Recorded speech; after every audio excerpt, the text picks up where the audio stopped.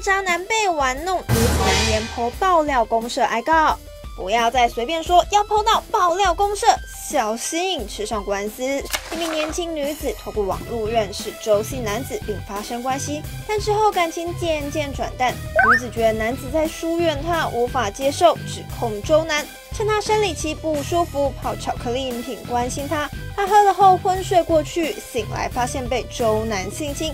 觉得被下药，带着巧克力包到警局对周南提告。周南否认性侵，也没泡任何东西给他喝，是情投意合的。